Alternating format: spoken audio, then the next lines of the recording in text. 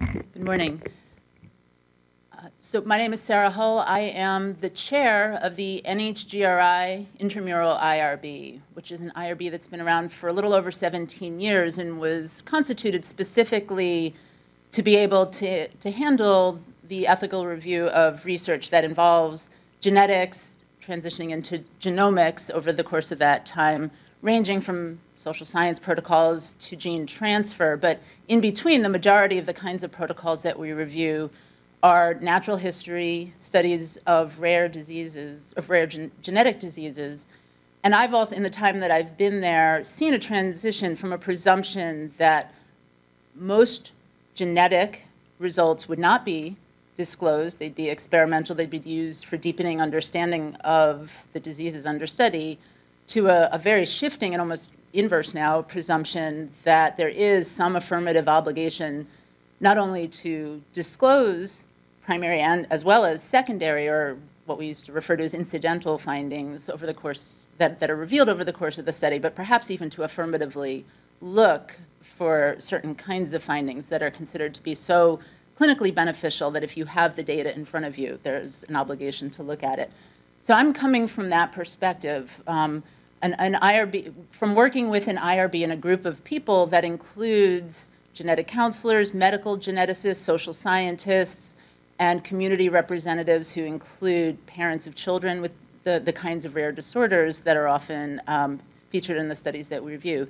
Thinking about how to assess risk in the context, sort of holistically in the context of a study with relatively little experience um, thinking about genomic sequencing as a device, as it's been uh, defined in, in the proceedings today thus far.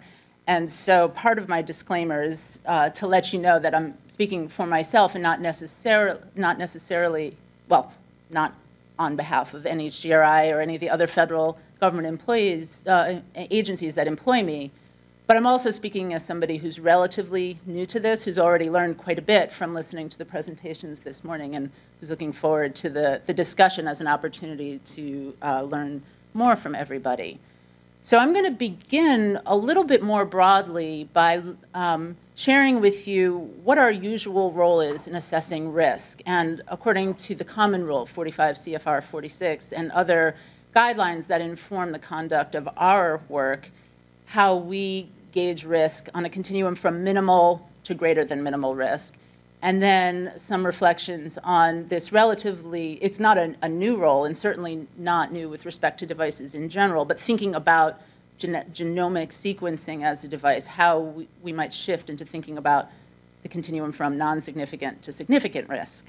Um, in general, we uh, think about many of the risks of genetic research stemming from the risks of disclosure. This might be the risk of disclosure to third parties, unauthorized breaches of confidentiality to third parties who may in some way use those results to, to cause harm to individuals. It could be harm in the form of depriving them of some kind of economic benefit or entitlement. Health insurance is, is often um, one that gets mentioned, harms from stigma and um, other kinds of psychosocial harms. There's also the risks of disclosure of both, I, I, listed secondary, but even primary findings to individuals themselves, to the patients and participants enrolled in the study. Um, people have talked about the, the potential for anxiety from the receipt of um, information about disease risk. Um, also, the possibility, especially if the information is in correct that the results could be used to lead somebody to engage in a, another kind of risky procedure, such as mastectomy, particularly if that wasn't warranted because of a false positive kind of a result. And then an, perhaps another category of concerns around the uses of genetic information in ways that would conflict with fundamental values of a donor or a donor's community. I just came back from a conference that was hosted by the Native Research Network that uh, focused in uh, great detail about some, how some indigenous communities um, have been harmed and, and, wronged by the use of, of genetic information uh, in the context of research without their uh, agreement in many cases. So that would be one example here. Now, in reality, I'm, except for that last example that I mentioned, I'm not aware, and I, I try to solicit this information when I speak to different audiences.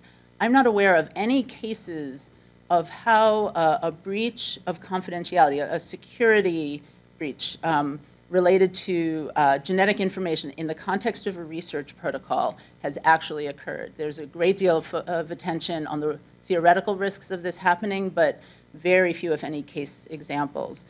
There's also um, emerging evidence that there's a low frequency of adverse psychological consequences of learning genetic information, negative in, or negative, not a negative result, but bad information, meaning information about a, a potential risk or diagnosis, that this, that this results in adverse long-term psychological outcomes.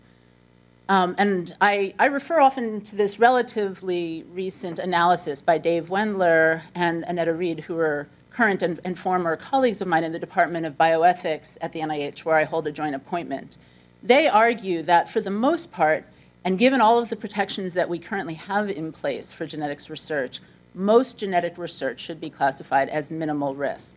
And they go through a very thoughtful analysis. I, I have the reference to this entire paper at the end of my slides if you're interested they go through and compare how genetic testing, genetic uh, information might be compared to a few other, a few ways of thinking about risk. The regulations talk about the risks of daily life. So, for example, the risk of taking a left turn across Rockville Pike to come into this meeting might be an example of a risk that one could compare to uh, genetic analysis the routine examination standard, and I actually think there's some traction here. This is perhaps the category that's most analogous to what we're talking about in terms of IDEs and the FDA evaluation. Um, and then a charitable participation standard. If the point of research is to do something that's societally beneficial, to generate knowledge that is uh, beneficial to society as a whole, perhaps the idea of charitable participation is the right comparison. So if I volunteer to build a house for Habitat for humanity, and I expose myself to some construction-related risks of using a hammer because I'm a klutz, perhaps that's the right standard to compare it to. They walk through all three of those and come to the conclusion that, for the most part, genetic research on their analysis would qualify as minimal risk, assuming that there are certain safeguards in place. Um, I'll come back to what some of those safeguards might look like in a moment. Um, but this is some summary statements from a working group that I participated in that was chaired by Les Biesecker. It was an intramural working group to, uh, at the NIH to look at what kind of resources should be in place to support investigators who increasingly are being called upon to both look for and to disclose some results, secondary findings from genetic research to participants in their studies. And this uh, the, the paper focused on an, an, an ethical justification uh, around the idea of clinical benefit, that identifying, validating, and communicating these kinds of results could provide substantial clinical benefit to participant. And so builds a case for an obligation, but then acknowledges that there's an open question about which studies this kind of obligation pertains to, precisely which findings, and how one would have the resources to go about doing this responsibly. And perhaps it's no coincidence that the next slide, the, the, the, the, conclusion that's stated here is framed in the way that it is, because there were actually three IRB chairs represented on this working group. But the group concluded that it is the IRB in consultation with the investigator who is the appropriate body to work through to determine which are the right studies and which are the right kind of findings to be uh, disclosed in a program of looking for and, and uh, revealing secondary genomic findings because of their experience with analyzing the potential benefits and harms of research, as well as their assessment, their positioning within an institution, although the centralization of IRB review might change this to some extent, but their awareness of the availability of, of counseling and analytic and other kinds of resources to support the investigator in this endeavor. So steps that we look for as an IRB uh, to help to minimize the risks of genetic research. Uh, we, we look for evidence that the investigator plans to get, we look for the, the magic acronym CLIA. We want confirmation, that confirmation is, is part of the research plan. And I can't think of a study that we've reviewed where this wasn't the case. Um, we worked very hard on um, getting better at being able to identify the appropriate threshold for what kind of results will be returned, how to define what counts as clinically relevant, what uh, and, and actionable. So in other words, not just a pathogenic variant, but some clear course of action that's available to uh, a research participant based on that information to improve their health outcomes. And increasingly, we're able to rely on lists that are being generated by professional societies. And we heard um, a reference to the um, ACMG list earlier. We've also had investigators take advantage of the expertise that we have in the intramural research program at the NIH and, and external as well to convene expert committees um, who will help with the review of these kinds of findings and, and uh, define the kinds of results that would be returned. We also um, pay, pay very close attention both to the plans for counseling, uh, genetic counseling resources, as well as the information contained in the informed consent process. Um, to help ensure that a participant who's getting results actually knows about and, and, wants to receive these results and has an opportunity either to decline the receipt of results or to, to decline research participation, depending on how a study is set up, to, um, to know this up front. But then also to help with the interpretation of the results once they receive them. And one particular point that our IRB has been very tuned into is um, how participants understand uh, the potential for false, false negative results. In other words, just because a pathogenic result is not identified, that doesn't necessarily mean that they're not at risk. And it, it depends entirely on what's being looked at, how the, the testing pipeline has been set up. And so a lot of attention is paid to how the consent process and genetic counseling will help to manage expectations around these kinds of findings. So now we're starting and being charged with thinking about uh, genomic, genomic sequencing in a slightly different way. And we've heard presentations this morning about how it's this entire pipeline that's uh, defined as a device. And I'm one of the people who's misinformed and think of this more as a process than as a device. But um, I'm, I'm, learning to, to, to use this terminology appropriately. And we understand that there are three different categories into which a device could fall. Um, IDE exempt, um, the, the investigational device exemption exempt seems, I, I, prefer to just say that the rules, these regulations, 21 CFR 812 don't apply so that I don't get that double exempt issue. But then there's the abbreviated IDE process. Um, if there's a, a determination that it's a non-significant risk device. And then there's still requirements that go along with that, but it doesn't require the full submission to the IDE, to the FDA. And then there's the IDE process. Um, I was very happy that my next slide defining what we're talking about when we're talking about a risk, significant risk device for genomics matches uh, the last speakers, so I can skip over that. And now I'm referring to the points to consider document that um, I noticed was included in the folders that folks here at the conference received, that um, ways in which to consider the, the, the risks of uh, genomic sequencing in terms of uh, device definitions. We would be concerned about the possibility of incorrect results, results that might either lead somebody to forego a medically important or a medically necessary treatment because, they, because of a lack of information, or a false positive that would motivate them to receive some kind of intervention that was both risky and unwarranted based on incorrect information. The points to consider also talk about assessing risk in terms of who is getting the testing. Are these healthy volunteers enrolling in research, or are these sick participants for whom the information has a, a, a particular kind of importance or salience? So these are some of the factors that are both mentioned in the points to consider document, but I would also argue are consistent with the range of ways that IRBs have been thinking about the risks of, of genetic information all along. Um, so who determines the IDE risk level? Um, again, I was relieved to see this uh, maps on to what some speakers said earlier. It's, it's primarily the, either the sponsor, the investigator, or the sponsor investigator's responsibility.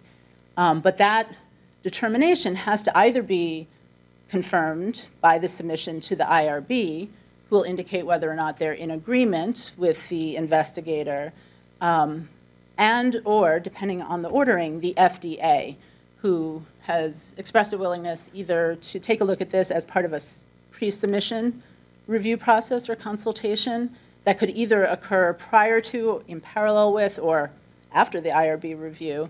And from some of my offline conversations, I understand that it's actually the, the FDA that could ultimately trump an IRB's decision. So if it comes to the FDA and the FDA disagrees, that's how that would play out. So here's a graphic that I've adapted from my, my former colleague at NHGRI, Jonathan Gitlin, who used to be in the policy office. And I found this a very helpful way of thinking through the different decision points when I'm consulting with investigators. I should mention, I, I, had meant to mention earlier, our IRB is connected with a unit that's called the Bioethics Core. And we, we have a habit of encouraging investigators to talk to us at any point in the process of review, very early on, when something has been submitted to the IRB, afterwards when questions come up. So I always encourage our investigators, and they know that they can talk to the IRB sort of through the bioethics core. So if they were to come to me, this is the tool I might use to help an investigator decide what he or she needs to do. The, the first question is, will the results be used clinically or returned? Increasingly, the answer to this question for genetic analysis, as I mentioned, is yes. Um, although there may be some circumstances in which there, it would not be required or even appropriate to track down and to give people results in the context of certain kinds of biobank studies, for example. If that were the case, the IDE regulations wouldn't apply. If the answer is yes, the question of whether there's confirmatory testing according to what I'll just call the the, the best standard available, because clearly there's open questions about what counts as adequate confirmatory testing. But we've been considering Sanger, Sanger sequencing or Sanger, Sanger confirmation to be appropriate. If the answer is yes, we've been, it, it has been suggested that this also means that the IDE regulations don't apply and that the IDE doesn't need to be submitted or considered further. If the answer is no, that's where the PI is charged with thinking about whether the device includes significant risk or not significant risk. If they don't think it's significant risk, they can submit this to the IRB, who may either agree or disagree. If they agree, then um, the IRB is able to grant the NSR IDE. Um, if the IRB disagrees or the investigator already has the foresight that this is likely a significant risk device, they would need to submit the IDE to the FDA. And again, there's some, the arrows might go in different directions if an investigator decided to consult with the FDA first or to go through that pathway first before submitting to the IRB. And there may be questions about timelines and efficiency. Um, our office, at the very least, is willing to try to work with an investigator to think through what perhaps the most likely outcome is so to help them figure out what might be the most efficient approach. But given how many open questions there are about how these rules apply precisely in different kinds of situations, we might also turn to the FDA and want to consult with them, or we might encourage an investigator to go there first just to make sure that we're, we're getting this right. Um, so I wanted to just present a case based on the very limited number of examples of these kinds of studies we reviewed. I realize I'm coming close to the end of my time, but I want to describe a case where we're talking about a, a, um, a natural history study, a rare disease protocol, where there is a process for disclosure of secondary genomic research findings built into the study, structured in a way that um, through a confirmation process maximizes the positive predicted value of the ability to identify these secondary variants, which might be disclosed, um, a very careful list based on which those variants will be identified that are you know, clinically actionable and appropriate to disclose, but maybe trading um, the possibility of some false negative results for that positive predict predicted value. And the kind of factors that an IRB might be thinking about uh, in, an, in a non um, a non-significant risk determination would be relying on this, this very carefully vetted list of gene variants, um, perhaps in consultation again with an expert advisory group to inform which would be the kind of results that would be included on this sort of panel for uh, evaluation and disclosure. Again, looking at the plans for, for counseling, consent, and the reporting out of results, both positive results as well as the possibility of a no findings kind of result to, to make absolutely sure that the participants understood that the absence of findings was not equivalent to a clean bill of health and no need for genetic testing.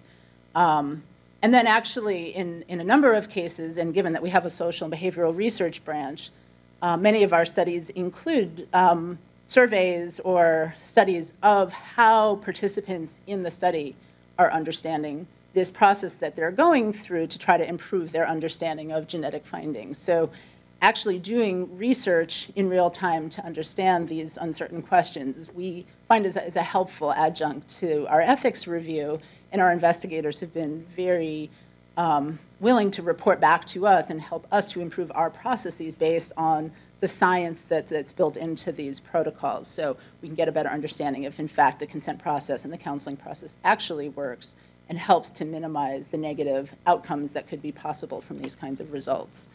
And here's just some examples of language that I extracted from some of our consent forms that, that focus on the management of negative, false negative findings. You could be falsely reassured, reassured by receiving no results. This is not a complete genetic health assessment. If your doctor need, thinks you need a genetic test, you should act on that rather than the results of this study. And you, there's also language that suggests there's limits to the analytic abilities in the study. And this is information that goes along with an oral consent process and genetic counseling and other things like that. But just to give you a flavor of some of the um, kinds of language that some of our consent forms include. Here's some of the references. The, the second bullet point is the standard operating procedure, one of 43 operating procedures we have for our Human Research Protection Program that instructs IRBs on how they're supposed to do risk assessments in the context of IDEs, not limited to genetics, but I found it an extremely helpful resource, um, given that there's quite a lot of experience that IRBs have looking at the other kinds of devices on the, on the list of devices that might be helpful. It's a publicly, it's open to the public, and that might be helpful to IRBs out there who do this kind of work. Thank you.